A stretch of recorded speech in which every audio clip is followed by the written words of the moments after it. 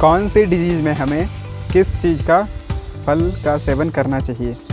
रोग प्रतिरोधक क्षमता बढ़ाने के लिए, अमरूद का सेवन करना चाहिए, वज़न घटाने के लिए चने की दाल का सेवन करना चाहिए। बवासीर को कम करता है पपीता, बालों को मज़बूत और सुंदर बनाता है खीरा।